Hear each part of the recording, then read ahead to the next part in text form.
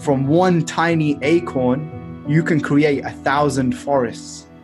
From one acorn. And there's like millions of acorns on the ground outside. That's the abundance that you are living in. Adopt this belief, adopt this pattern. You are surrounded by abundance, prosperity. What is leading you to your success? When things are going well, take advantage of that. And it could be the smallest thing, you know, why, why am I having a really good workout today? Oh, it's because you don't have your phone with you, dummy. My drum practice went really well today. Yeah, because you're present. You're playing with emotion. There's the key word play. Forcing things too much.